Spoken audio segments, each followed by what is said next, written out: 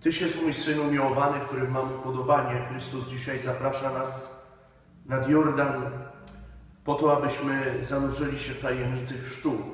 Dzisiejsza Ewangelia pokazuje, że człowiek w życiu otrzymuje wiele różnych dokumentów.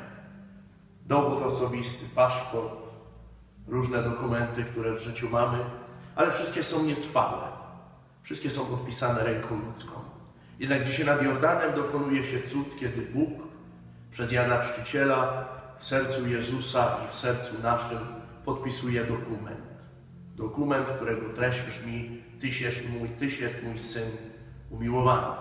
No właśnie, tajemnica chrztu, co nam daje?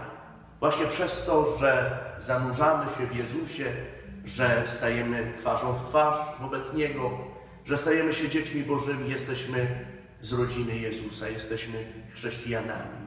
Kiedy Jan Paweł II przybył do Wadowic, pierwsze kroki skierował właśnie do chrzcielnicy, do tego miejsca, gdzie Bóg podpisał w jego sercu dokument Tyś jest mój Syn umiłowany.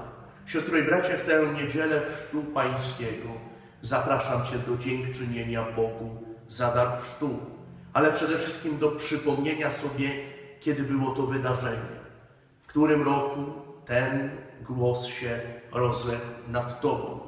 Ale też zapraszam Cię do dziękczynienia i do świadczenia o Bogu, który podpisał w Twoim sercu dokument Tyś jest mój Syn umiłowany.